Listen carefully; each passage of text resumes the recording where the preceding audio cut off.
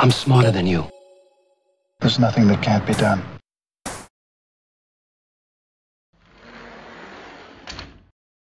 I had a guy's finger in my asshole tonight. Is it Friday already?